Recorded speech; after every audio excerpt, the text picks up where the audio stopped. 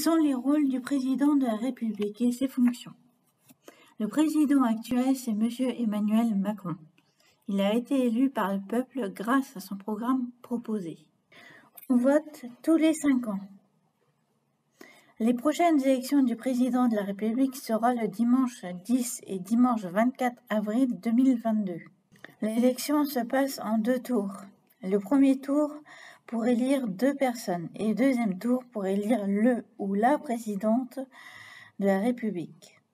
Le président peut choisir de se représenter ou de se retirer.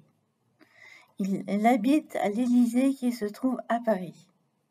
Il est le chef du gouvernement et des armées. Il dirige la France, il propose des lois avec son gouvernement et c'est les députés qui les votent ou qui les rejettent.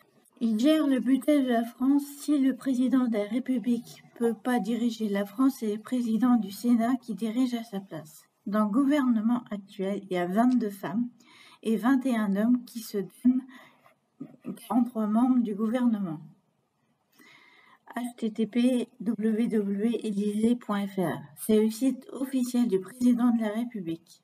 Il vous donnera les informations utiles et fiables il y a aussi plusieurs présidents depuis 20 ans. Le président François Mitterrand, puis Jacques Chirac, tous les deux sont décédés.